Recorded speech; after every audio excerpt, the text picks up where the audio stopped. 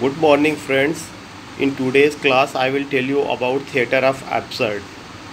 as you know the phrase theatre of absurd it was used by Martin Esslin and it refers to a group of dramatist और novelist who emerge after second world war what I want to say कि जो theatre of absurd है, यह एक ऐसा phrase है जिसको Martin Esslin ने यूज़ किया था, और यह जो ग्रुप है यह ग्रुप नावलिस्ट और ड्रामेटिस्ट का है।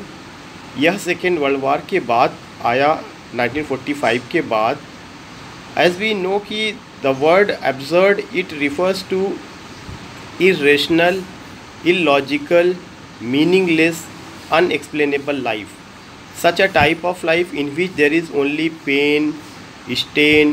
trauma mental agony what happened ultimately ki what was the cause of the coming or blooming or the emerging of theater of absurd? The basic cause was only the second world war. Due to the second world war our life or the structure of life it was totally disturbed. Many people were killed many were injured and man started to think that ki he is known as the rational creature of God तो where rationality has gone वो इस चीज़ पे विचार करने लगा कि अगर हमें रेशनल क्रिएचर ऑफ़ गॉड कहा जाता है तो रेशनैलिटी कहाँ हमारी चली गई? हमने फ़र्स्ट वर्ल्ड वार लड़ा 1914 से 1918 तक सेकेंड वर्ल्ड वार 1939 से 1945 तक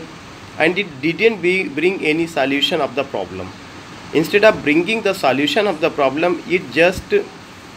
problem को इसने बढ़ाया। तो आदमी इस चीज़ को सोचने लगा कि आखिर व्हाट इज़ द कॉज हमारे अपने पेन का, हमारे अपने ट्रामा का एग्नी का मेंटल सिकनेस का, उसने सब चीज़ें देखा कि वह खुद इसके लिए जिम्मेदार है। तो ही फाउंड दैट कि in life there was no meaning at all and to describe such a life to depict such a life he used a, such a type of place yeah he he started to write such a type of place that comes in the category of what that comes in the category of theater of absurd तो theatre of absurd जो ये play है एक ऐसा play है जो किसी भी जो post world war means after second world war 1945 के बाद कि जो हमारी ज़िंदगी है जो हमारी ज़िंदगी के दर्द हैं जो हमारी ज़िंदगी के आँसू हैं जो हमारी ज़िंदगी के गम हैं एग्नी है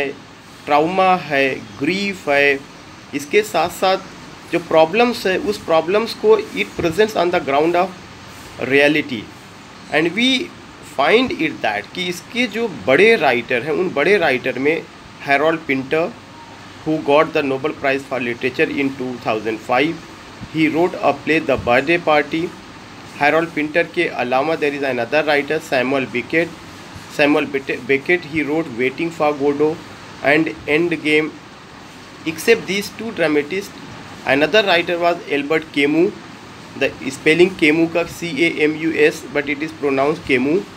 उन्होंने द मिथ ऑफ़ सिसिफस लिखा था 1942 में 1942 में एक किताब लिखा था the myth of Sisyphus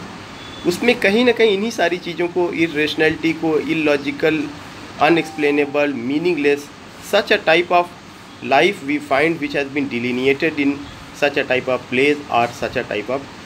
novel. Alfred Jarry's का Ubu Roi युबू the king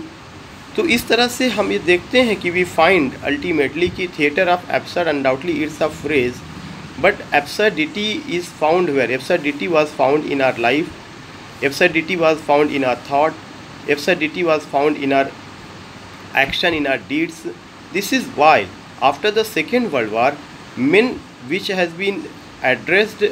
as rational creature of God after the second world war उसका जितना काम था, वह इरेशनल क्रिएचर का rationality doesn't lie anywhere तो इस तरह की ज़िंदगी को दिखाने के लिए, इस तरह की ज़िंदगी को शो करने के लिए,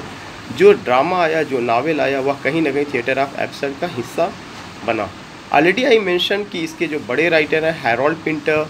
हैरोल्ड पिंटर के अलावा Samuel Beckett Alfred Jarry Alfred Jarry के अलावा there is another writer Albert Camus तो इस तरह से हम देखते हैं कि ये थिएटर ऑफ़ एब्सर्ड की बेसिक करेक्टरिस्टिक्स है।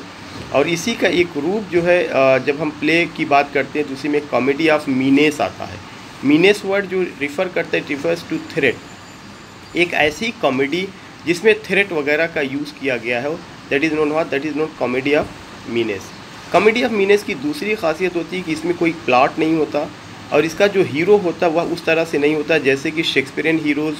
like Macbeth like Hamlet who are going to face the problem या who are going to face the challenges and issues उस तरह का हीरो नहीं होता। हीरो जो है वह कहीं ना कहीं under the grip of trauma है पेन है। You can just take the example in the birthday party जो स्टैनली है, उसका जब बर्थडे मनाया जाता है तो वह ऐसा लगता है कि वह एक मेंटल सिकनेस का शिकार है। तो कॉमेडी ऑफ़ मीनेस भी कहीं ना कहीं इससे जुड़ा हुआ है। एक ऐसी कॉमेडी जिसमें हम थ्रेड को देखते हैं, जिसमें कोई प्लॉट नहीं होता सुटेबल और जिसमें जो है चीज़ें जहाँ से शुरू होती हैं, जो बताई जाती हैं, फिर वहीं पे पहुँच जाती हैं और लास्ट में पूरे प्रॉब्लम पूरे के पूरे प्ले पढ़ने के बाद हमें कहीं से कोई मीनिंग नहीं मिल पाता। इर, ऐसा लगता है कि सारी चीज़ें जो बताई गई हैं, वह अपने में अनएक्सप्लेनेबल है, illogical है, irrational है। This is why it has been added as theater of absurd thanks, i hope that you like to this video and also suggest me what I, what other topics i have to upload. Thanks